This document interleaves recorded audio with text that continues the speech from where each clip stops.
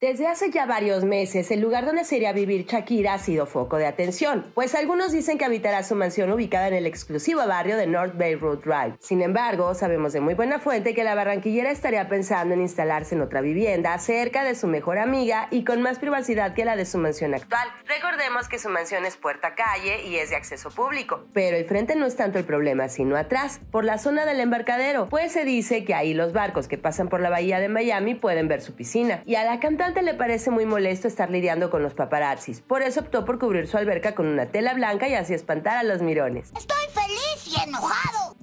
Pero en concreto, su deseo sería una vivienda en una isla privada.